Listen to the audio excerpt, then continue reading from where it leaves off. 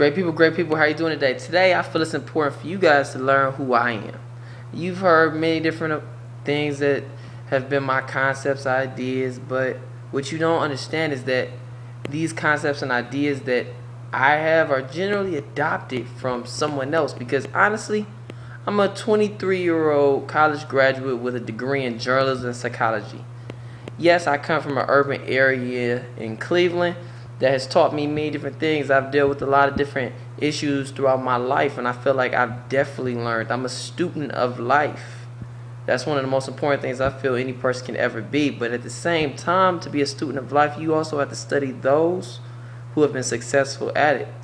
So therefore, I've over the over my short-lived life, I've been studying, I've been researching constantly. I'm not sure if I'm not sure if you understand, but I always say this, and I don't care how many times I say it. If you want to be a scientist, you study science. You want to be an engineer, you study engineering.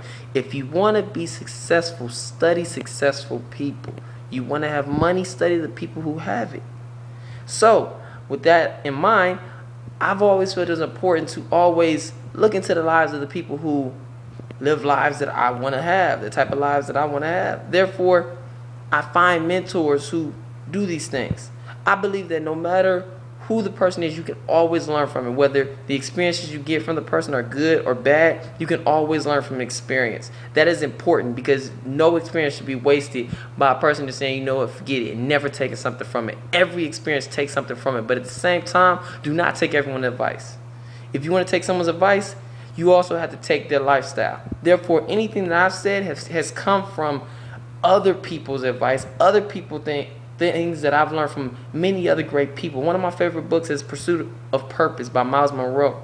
Great book. I definitely advise anybody who watches these videos to read the, read that book. You also have Battlefield of the Mind. Then one of my favorite books is The Secret, The Law of Attraction. If you don't know much about that, look into it. I'm not going to give you any more information about that. And then one of the recent books that I've looked into is Rich Dad Poor Dad. I'm definitely going to go through that series and learn more. So therefore, I'm a student.